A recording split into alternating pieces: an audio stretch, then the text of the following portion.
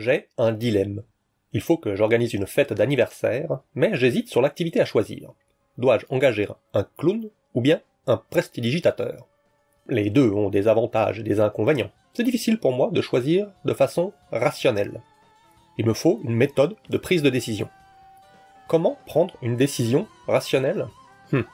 Voilà le sujet de cette vidéo. Définir qu'est-ce que la rationalité.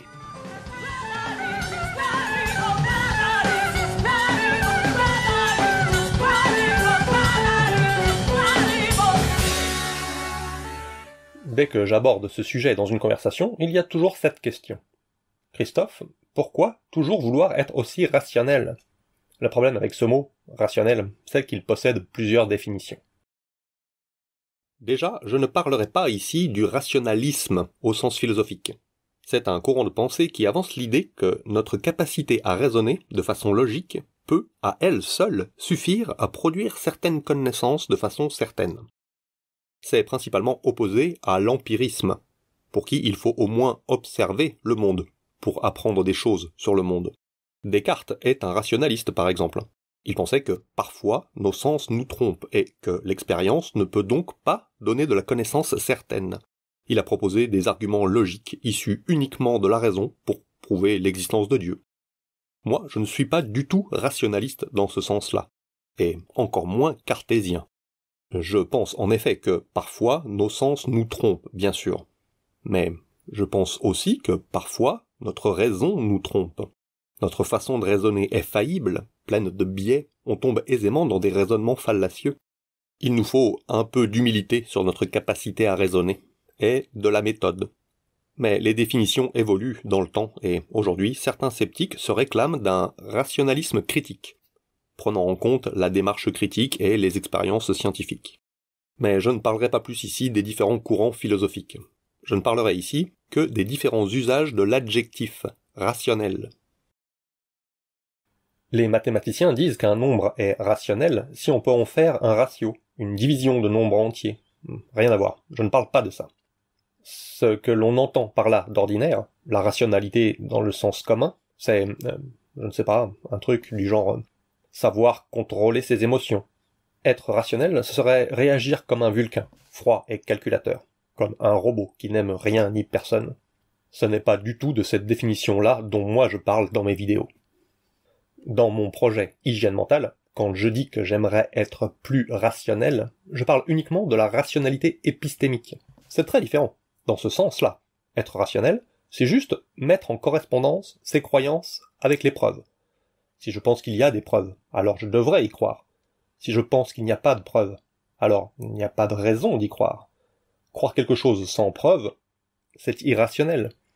Ne pas croire alors qu'on pense qu'il y a des preuves, c'est irrationnel. Irrationnel au sens épistémique. Et dans cette vidéo, aujourd'hui spécifiquement, je vais aborder une autre définition du mot rationnel. La rationalité instrumentale celle utilisée dans les théories de la prise de décision.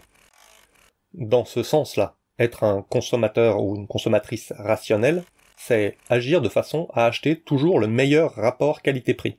Et plus généralement, agir de façon à remplir ses objectifs. Si on agit à l'encontre de ses propres objectifs, c'est, c'est pas très malin déjà, et on pourra dire que c'est irrationnel. Au sens instrumental. Acceptons donc que, dans cet exemple de l'animation d'anniversaire, je veux pouvoir décider de façon rationnelle au sens instrumental, c'est-à-dire maximiser mes chances de prendre la bonne décision. Je choisis lequel des deux, un clown ou bien un prestidigitateur, et à quel degré? Genre, je le fais moi à l'arrache? Je demande à un ami qui sait faire des tours de magie? J'emploie un professionnel?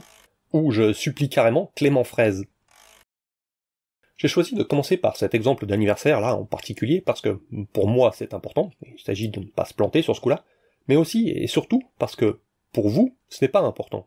Je suppose qu'il n'y a pas parmi vous des militants activistes pro-clown prêts à s'insurger sur les réseaux sociaux en insultant tous les militants anti-clown qui oseront poser un commentaire sous la vidéo. Je vais ainsi pouvoir développer sereinement mon argumentaire. Mais gardez bien à l'esprit que ce type de raisonnement serait tout à fait le même si un jour je devais prendre une décision sur un sujet un peu plus polémique. Par exemple, dois-je voter pour monsieur machin ou madame bidule? Dois-je acheter bio ou pas bio? Pour guérir mon cancer, vais-je faire de la schtroumpfothérapie ou bien prendre du schtroumpfococcinum Dois-je être pour ou contre une sortie du nucléaire? À chaque fois, il y a, pour chacun, des avantages et des inconvénients. Et surtout, au final, ce sera ça ma question. Est-ce qu'il suffit d'avoir les bonnes données scientifiques pour prendre une bonne décision? Allons-y, listons les avantages et les inconvénients. Les avantages du clown, c'est que ça plaît plus aux enfants. Il y aura plein d'enfants. C'est un critère important pour moi que ça leur plaise. Ça fait partie de mes objectifs. Je place mes objectifs ici. Il me faut évaluer, de ce côté-là, à quel point ils apprécieraient plus un clown ou un prestidigitateur. Je dirais, a priori, que les enfants, en général, préfèrent, disons, trois fois plus un clown qu'un prestidigitateur. Je symbolise mes connaissances avec des curseurs. Ma tête est pleine de curseurs. Enfin, mes connaissances, c'est plutôt mes croyances, au sens large. Des croyances plus ou moins justifiées, selon sur quoi je me base. Là, c'est une estimation à la louche, hein. J'ai pas fait d'études contrôlées, randomisées à l'aveugle sur les préférences des enfants. C'est une estimation subjective. Peut-être que je me trompe, mais à mon avis, ça doit être à peu près ça. Mais ce que je voudrais, surtout, c'est que ça plaise à ma fille en particulier. C'est son anniversaire, après tout. L'autre jour, elle s'est déguisée en clown avec des fripes. Ça ne veut pas dire qu'elle n'aimerait pas un prestidigitateur, mais j'ai l'impression qu'elle est dans une période très clown. Je pense que, elle, elle préférerait, disons, dix fois plus un clown. Comme je l'ai expliqué dans ma vidéo précédente, tous ces curseurs représentent ma vision du monde tel que je pense qu'il est. Je les tiens à jour en continu en les ajustant au fur et à mesure, selon ce que j'observe, ou lorsque j'apprends de nouvelles choses, au gré de mes lectures ou de mes expériences personnelles. Mais plaire aux enfants n'est pas le seul critère. Il y aura aussi plein d'adultes, des parents, des oncles, des tantes. Je voudrais que eux aussi puissent s'amuser. Je dirais que les adultes, eux, préféreraient hum, carrément plus un prestidigitateur. Bon, tous les adultes n'ont probablement pas exactement les mêmes préférences, mais je ne peux pas gérer des tas de curseurs. Il faut que je simplifie, que je fasse des groupes, que je mette les choses dans des cases. C'est ça, modéliser le réel. Encore une fois, tous ces curseurs ne sont pas définitifs, hein. Je les place comme ça un peu à l'arrache au début. L'idée sera ensuite de pouvoir les manipuler à loisir pour voir dans quelle proportion leur variation devrait influer ma décision. Et enfin, il faut quand même que je traite à part les voisins. Eux, ils ont déjà fait venir un clown à la fête de leur fils le mois dernier. Ils sont très fiers d'avoir eu cette idée, et ils n'apprécieraient pas que je copie l'idée. Eux, ils n'aimeraient pas du tout que je choisisse un clown. Mais bon, après tout, qu'est-ce que ça peut bien me faire l'avis des voisins pénibles? Peut-être que leur jugement ne devrait pas trop influer ma décision.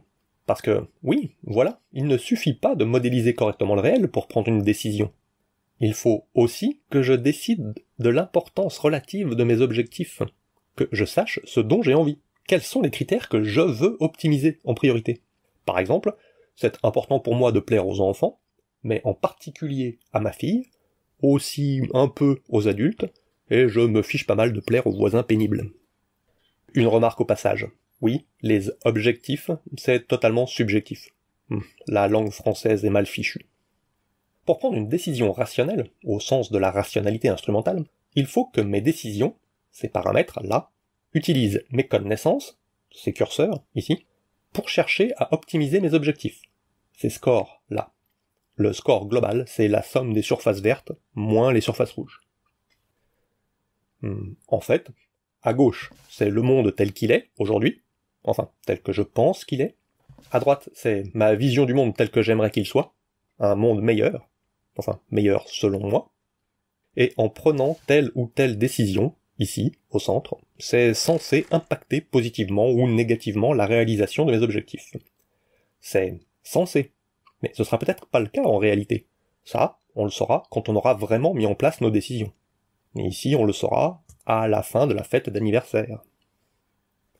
Avec ces objectifs, je dirais que un clown serait préférable. Mais si il était important pour moi de ne pas fâcher les voisins, je remonterais mon intérêt pour cet objectif, ici, par exemple, imaginons que j'ai vraiment pas envie de me fâcher avec lui, parce que j'aimerais qu'il me prête sa tondeuse le printemps prochain. Alors, un prestidigitateur pourrait être un meilleur choix. Et hmm, le monde étant toujours plus compliqué que n'importe quel modèle, plus on veut être précis, plus on ajoute des paramètres. Le prix, par exemple. Je ne suis pas riche et j'aimerais que ça ne coûte pas trop cher. Si un prestidigitateur coûte plus cher qu'un clown, ça peut faire basculer mon choix.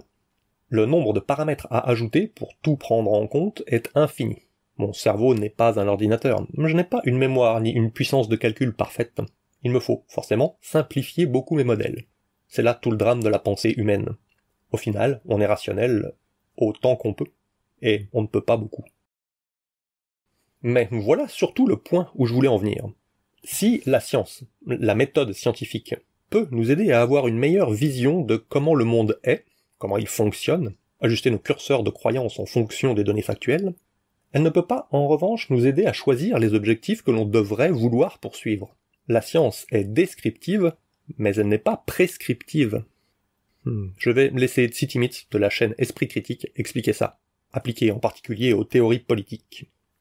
Construire une idéologie politique, ça se fait en trois étapes. Étape 1, on fait un constat du monde tel qu'il a été jusqu'à maintenant. Étape 2, on imagine comment le monde devrait être. Étape 3, on élabore une méthode pour passer du monde tel qu'il est au monde tel qu'il devrait être. Et c'est cette méthode qui deviendra notre projet politique. À l'étape 1, la science a toute sa place. Décrire le monde, c'est son boulot. Elle est aussi très utile pour l'étape 3. Une fois qu'on a un point de départ et un point d'arrivée, la science peut nous aider à trouver la méthode la plus efficace pour se rapprocher de notre idéal à partir du monde actuel. La partie où la science n'a rien à dire, c'est l'étape 2, le choix de notre idéal de société. Il peut être très différent du monde actuel ou juste un peu différent. Il peut correspondre à un monde qui a déjà existé dans le passé ou à un tout nouveau monde qui n'a jamais existé. Et si le monde actuel nous convient, bah notre monde idéal ce sera le monde actuel. Merci Tsi. Le problème avec ces différentes définitions du mot rationnel, c'est que ça cause beaucoup d'incompréhension. Je vais essayer de passer en revue les mésententes les plus courantes. Hmm, par exemple, au sens instrumental, prendre une décision rationnelle ne signifie pas prendre la bonne décision. Prendre une décision rationnelle, ça signifie prendre la décision la meilleure au vu de ce que l'on connaît de la situation. Mais si on a des informations erronées ou juste insuffisantes, on peut prendre une mauvaise décision de façon rationnelle. De la même façon que, au sens épistémique, avoir une croyance rationnelle ne signifie pas avoir raison. Avoir une croyance rationnelle, c'est juste retenir la meilleure hypothèse au vu de ce que l'on connaît de la situation. Mais si on a des informations erronées, ou juste insuffisantes, on peut croire une chose fausse de façon rationnelle. Hmm, une autre idée reçue. Certaines personnes sont trop rationnelles. Elles ne ressentent aucune émotion. Hmm, l'expression c'est elles sont trop dans le mental. Hmm, c'est vrai que parfois il existe des excès d'émotions, colère, adoration excessive, qui brouillent notre jugement et nous font faire les mauvais choix, nous font rater nos objectifs. Une personne rationnelle, c'est-à-dire qui cherche à remplir au mieux ses objectifs, devrait essayer de gérer ça. Mais être rationnel ne signifie pas ne pas vouloir avoir d'émotions. Moi, par exemple, j'ai comme objectif, de très haute priorité, d'avoir une vie pleine de rire, de bonheur, d'amour et d'œuvres d'art, de ressentir des émotions. Du coup, vouloir ma vie de façon à remplir ces objectifs, ben, ce serait tout à fait rationnel, au contraire. Ou encore, certaines personnes sont trop rationnelles. Elles veulent toujours comprendre les causes et les mécanismes des choses et, du coup, sont incapables de s'émerveiller. Mais une personne rationnelle ressent des émotions, qu'il le veuille ou non. Personnellement, admirer la magnificence de la nature, la parade d'un pan par exemple, ça me fait ressentir des choses, un émerveillement. C'est ainsi que je comprenne ou pas les mécanismes évolutifs qui ont amené la nature à produire ça. Ça crée en moi des émotions, c'est un fait, c'est mécanique, et ça n'a pas grand chose à voir avec la rationalité. Il y a peut-être des raisons biologiques pour lesquelles je trouve ça beau, des hormones, des réflexes neurologiques, que sais-je. Mais même si je ne sais pas pourquoi ni comment j'ai ces émotions, j'ai quand même ces émotions ça ne dépend pas de la rationalité. C'est juste que, en plus de ça, moi, j'aime à comprendre les règles et les mécanismes derrière les phénomènes. Je retire un certain plaisir à avoir compris les raisons des choses. Et, vu que je recherche le plaisir. Mais si un jour je pense que j'apprécierais plus de ne pas savoir le truc, lors d'un tour de prestigitateur par exemple, justement, eh bien ce sera un comportement tout à fait rationnel que de se laisser émerveiller sans trop chercher à comprendre. Au cinéma, je préfère ne pas chercher à savoir comment un effet spécial a été fait. Cela gâcherait mon plaisir. Ou encore, certaines personnes sont trop rationnelles. Elles veulent tout calculer de façon consciente et refusent de suivre leurs intuitions. Et du coup, elles ratent des opportunités. Eh bien, Si vouloir tout maîtriser te fait rater tes objectifs, ben, il faut arrêter d'essayer de tout maîtriser. Si on atteint mieux ses objectifs en suivant ses intuitions, alors il est tout à fait rationnel de suivre ses intuitions. Il existe des situations où notre intuition est très fiable. Notre système intuitif, inconscient, le système 1 décrit par Kahneman, est, dans certains cas de figure, soumis à des biais, mais il est quand même fichtrement efficace la plupart du temps. Voir mon épisode 20 pour des détails. Notre système analytique, conscient, le système 2, peut parfois corriger ces biais, mais il a ses défauts aussi. Se renseigner, c'est long, c'est pénible, cela demande des efforts. Selon les cas de figure, c'est soit plutôt le système intuitif, soit plutôt le système analytique qui est le plus adapté à la situation. Être rationnel, c'est essayer d'utiliser le système le plus adapté à la situation. Et très souvent, ça signifie faire confiance à ses intuitions. Vouloir dépenser beaucoup de temps et d'énergie pour le même résultat, c'est ça qui ne serait pas rationnel. Hmm, encore un exemple. Certaines personnes sont trop rationnelles. Elles ne veulent pas prendre de décision avant d'avoir connaissance de tous les éléments. Et du coup, à trop attendre, des opportunités leur échappent. Ben, si des opportunités s'échappent, c'est que trop attendre n'est pas très efficace. Si il est plus performant en moyenne de savoir prendre des décisions rapidement avant d'avoir absolument toutes les infos, alors la chose rationnelle à faire est de se décider rapidement. Si une personne souffre d'être encore célibataire parce qu'il cherche la femme parfaite, parce qu'il attend de pouvoir être certain que telle prétendante sera une épouse adéquate, une mère attentionnée, et qu'elle satisfasse tous ses critères, et que, à trop attendre, elles finissent toutes par se marier avec des types plus entreprenants, eh bien, c'est clair que c'est pas une prise de décision optimale. La chose rationnelle à faire, dans ce cas, est de ne simplement pas attendre d'avoir toutes les informations, et prendre des risques. Une personne rationnelle devrait tenir compte de facteurs tels que la durée nécessaire pour la recherche, le coût du traitement des données, l'effort à fournir pour avoir des informations. Si les coûts ne valent pas le coup, vous cassez pas le coup. Ou encore, certaines personnes sont trop rationnelles. Elles pensent que la science a toujours raison et que les progrès scientifiques régleront tous les problèmes de la société. Euh, non, ça c'est le scientisme. Si on pense que les progrès scientifiques causeront plus de mal que de bien, alors il serait rationnel de militer contre le progrès scientifique. Si on pense que sur le sujet X, tel consensus scientifique a tort, il serait irrationnel de se ranger malgré tout au consensus scientifique. Ou encore, certaines personnes sont trop rationnelles. Elles ne s'attachent qu'aux choses matérielles et refusent les choses spirituelles. Mais encore une fois, ça dépend de mes objectifs. Si mon objectif est de m'assurer une vie éternelle au paradis, à la droite de mon Dieu, et que, pour cela, je crois, sincèrement, qu'il faut prier, recevoir les sacrements et faire un pèlerinage. Alors, prier, recevoir les sacrements et faire un pèlerinage serait un comportement tout à fait rationnel. Avoir ses croyances et cet objectif, mais refuser les choses spirituelles, c'est ça qui ne serait pas très rationnel.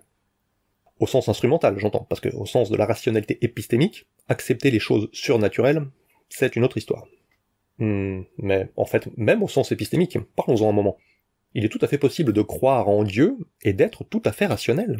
Par exemple, si une personne pense, sincèrement, avoir des preuves solides et vérifiables en faveur de l'existence de son Dieu et de sa religion, alors il est tout à fait rationnel d'y croire. Quand je demande à ma tante Gudule pour quelle raison elle croit en la résurrection du Christ, elle me dit que c'est à cause des preuves comme le sueur de Turin. Elle est donc tout à fait rationnelle. Moi, je trouve cette preuve très faible. Bien pourrie même. Le tissu semble dater du XIIIe siècle. Et du coup, je ne crois pas en la résurrection de Jésus. Elle et moi, nous ne sommes pas du même avis. Mais nous sommes tous les deux rationnels. C'est juste qu'on ne considère pas les mêmes choses comme étant des preuves. Je pense qu'en vérité, tout le monde a envie d'être rationnel. Tout le monde a l'impression d'être rationnel. On a tous l'impression que nos actes correspondent à nos convictions. Mais c'est pas le cas. Plein de gens se rendent compte que boire et fumer, c'est mauvais pour la santé. Et ont la ferme intention d'arrêter. Et pourtant, ils continuent de boire et de fumer. Plein de gens se rendent compte que gratter des tickets de loto, à long terme, ça fait perdre de l'argent. Mais ils continuent d'acheter des tickets. On rationalise après coup, en cherchant les raisons pour lesquelles on continue de faire ça. Moi, par exemple, pour donner un exemple personnel, j'ai décidé de moins suivre l'actualité, la presse, les réseaux sociaux. Une question d'économie de l'attention. Mais je continue de passer beaucoup trop de temps sur Twitter. Je ne fais pas ce que je veux faire. C'est un comportement irrationnel, au sens instrumental. Et je rationalise après coup en me disant que, ah, quand même, il y avait quelques trucs intéressants. Et puis, tout le monde fait ça. De même, au sens épistémique, on a tous l'impression qu'on a des preuves qui étayent chacune de nos croyances. Mais c'est pas le cas. Dans plein de conversations sur la religion, plein de gens reconnaissent qu'ils croient en Dieu par un simple acte de foi, reconnaissant qu'il n'existe pas de preuves, que les preuves ne sont pas nécessaires à la foi. Heureux celui qui aura cru sans avoir vu. Saint Thomas, tout ça. Et moi, ça me convient tout à fait, hein. chacun est libre de croire ce qu'il veut. Mais c'est irrationnel, au sens épistémique. Moi, par exemple, pour donner un exemple personnel, je crois, bon, je n'ai pas de religion, mais euh, je crois que enseigner les outils de la pensée critique de façon bienveillante, en utilisant des exemples pédagogiques qui ne sont pas clivants, genre le paranormal, permettra aux gens d'utiliser plus tard ces outils intellectuels critiques sur des faits de société, leur parti politique, leur religion, leur thérapie alternative préférée. Je préfère la bienveillance au débunkage frontaux, et je crois en une certaine transférabilité des compétences d'un domaine à un autre. Mais honnêtement, j'ai pas de preuves pour croire ça. J'ai bien essayé de chercher des études scientifiques pour justifier cette croyance, et il y a plein d'études sur le sujet, hein. mais c'est pas très concluant. Si ça se trouve, enseigner la pensée critique sur des exemples sur le paranormal n'augmente l'esprit critique que sur le paranormal. C'est une croyance irrationnelle et ça me met mal à l'aise. Parce que si c'est faux, ça veut dire que tout mon projet hygiène mentale est vain. C'est pour ça que j'ai mis longtemps à faire cette vidéo. Je traverse une phase de doute. Je n'ai pas traité de l'aspect historique de la rationalité.